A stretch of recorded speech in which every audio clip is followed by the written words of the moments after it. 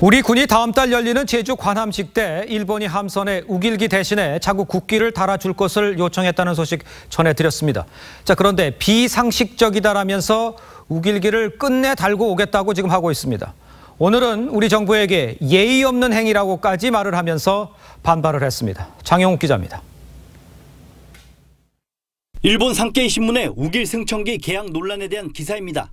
해상 자위대의 한 간부가 우길 승천기는 국가 주권의 상징이라면서 이를 내리라고 하는 건 비상식적이고 예의가 없는 행위라고 말했습니다. 이 간부는 또 북한 문제에서 한미일의 연계가 중요한데 이런 일이 반복되면 신뢰관계를 쌓아 올릴 수 없다고 했습니다.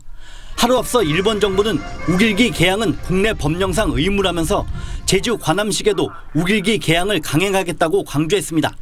해상 자위대는 1954년 발족 당시부터 자위함 깃발로 우길기를 사용해왔습니다.